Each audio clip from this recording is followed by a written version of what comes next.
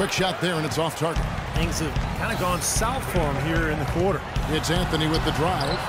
Good D by Jordan. That was a layup, and you've got to knock that down. You've got to convert when you get those opportunities. Wasted no time on that one. 26 points for the franchise. Had so much space there. The defense really not showing him the respect.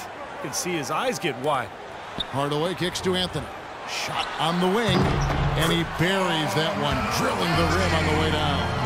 Boy, they are passing the ball very crisply right now. They sure are. That's three straight buckets that have come off of assists. Paul kicks to James, goes up from the top of the key, and Dalembert pulls it down. You know, when the shot's not there for you, you've just got to recognize it, move the ball on. Yeah, I think he had tunnel vision right there. His only thought was to shoot it, no matter what else was going on. He certainly didn't take advantage of the poor defense, but they can't count on him to continue missing. No, that's for sure, because this guy's too good of a shooter to miss that look consistently. Calderon with it. Chris Paul covering. They double him with James. Outside Hardaway. Lets the three fly. The dish now to Calderon. He feeds it to Hardaway to the wing right side. Some nice passing by New York here. Dalembert passes to Anthony. Calderon has the open look. And the three off target. Clippers leading by nine. The drive by James. Stoudemire with the defensive effort. New York's getting blank from three-point land so far in the third. Still 0 for 3.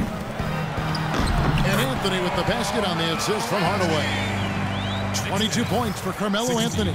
Kevin, he's been a bright spot in what's otherwise been a little bit of a struggle for this team.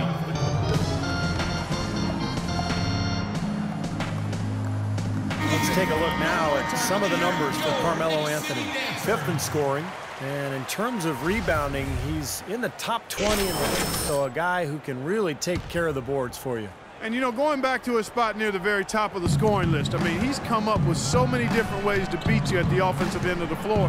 He's almost unguardable. Here's James. Knicks with the rebound. Anthony's got rebound number eight now on the night. Calderon dishes to Stoudemire. Anthony right side. Watch shots, a stat that sometimes doesn't tell the whole story. Big-time shot blockers aren't always elite defenders. And then the opposite is true. Their block shot totals don't quite capture that great impact they really have defensively. And I think when you look at Hakeem Olajuwon, I mean, the numbers show that he was a phenomenal defensive player. 3,830 career blocks, two-time defensive player of the year. I think you put him alongside greats like Bill Russell, uh, who played before blocks were actually recorded, of course. But you put Olajuwon up near Russell in terms of maybe greatest interior defenders of all time.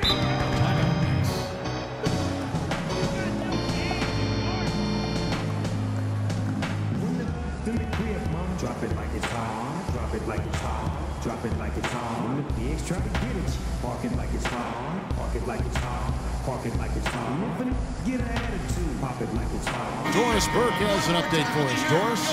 Thanks, Kevin. Derek Fisher had some words for his team over that last break.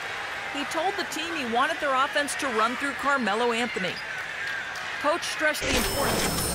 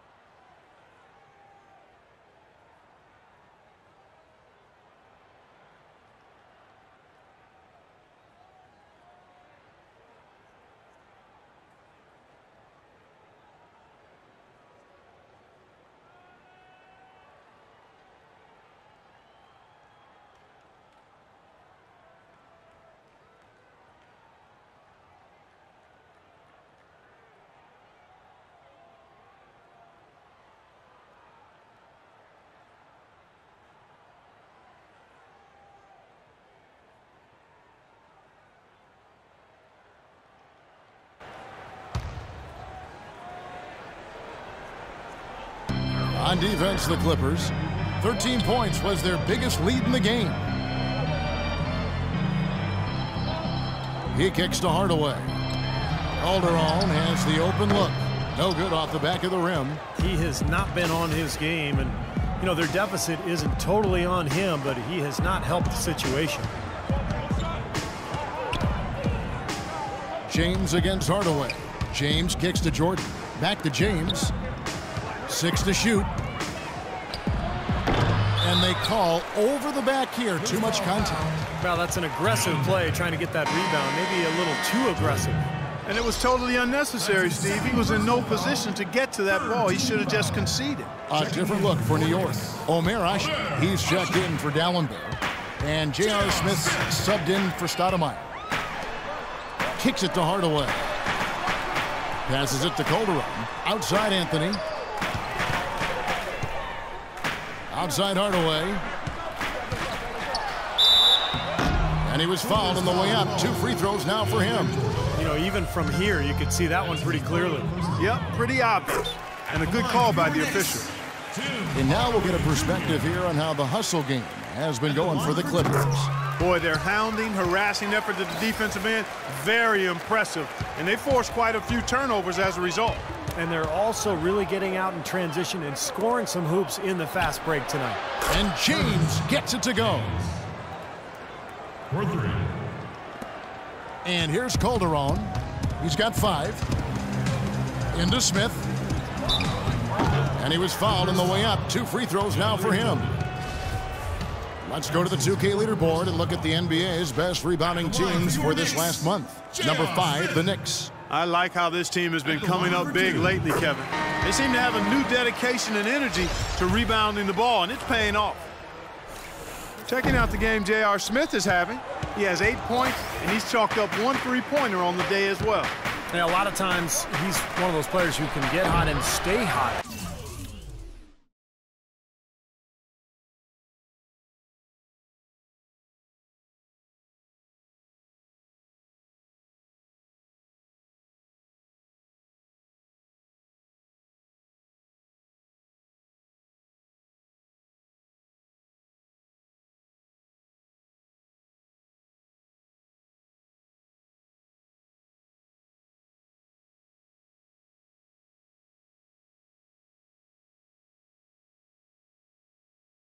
Three-point line. So I look for him to continue to search for shots out there. Anthony, the pass to Larkin. The pass to Smith.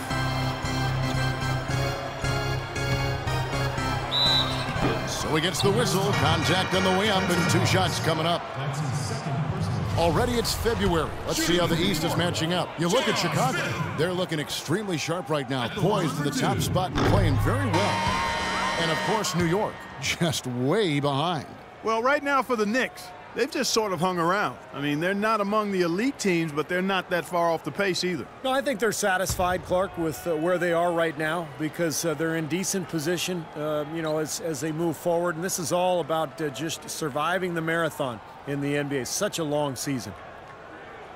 And he ends up missing both free throws. Clippers leading by nine. It's deflected.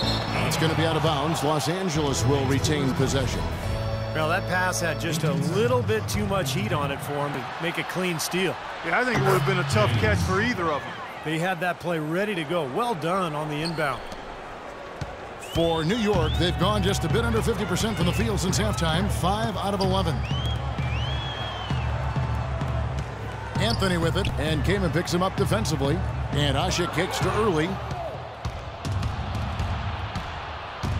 Now here's Redick. He's got five. From deep, James, and another three for the Clippers. They're in the position they're in right now, thanks in no small part to the show that he's putting on in this period. Here's Smith. Oh, took the contact and tried to throw it down over the top, but instead he'll shoot free throws. It's on Spencer Hawes. Yeah, that's smart basketball. You foul and you send a very poor free throw shooter to the line. Yeah, I think that's just smart. I mean, especially the way he's been throwing it down. Make him earn it at the stripe. Jamal Crawford, he's checked in for Jordan Farmar. Clippers leading by 12. Redick dishes to James. And there's the feed to Redick. They get it again. Here's Kaman. And a foul call on the shot. Got him on the way up that time, so he'll shoot two right here. Yeah, the defender draped all over it. Pretty plain and simple. Got him good there. He shot two free throws in the game, made one and missed one. So he makes one of two as the second one misses. New York's gotten blank from three-point land so far in the third, still 0 for 3. Larkin kicks to Early. New York moving the ball around. Dishes to Carmelo. And Anthony gets double teamed. Just five on the clock. That's a two from Smith. Misses off the left iron. I think in that situation, it was a nice try to create some space for himself with the fadeaway. From deep, James. And the rebound goes to the Knicks. And that's a foul. Calling Spencer Hawes. That will get him his fourth foul of the game. And due to the bonus, we'll head to the line for two. At the line for two.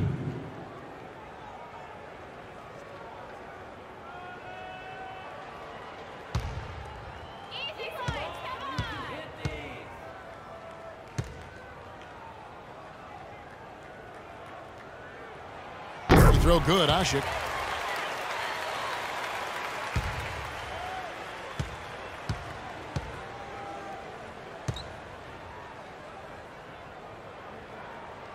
And so Asik nails both of them.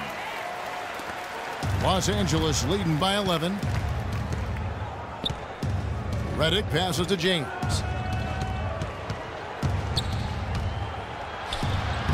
The shot, no good.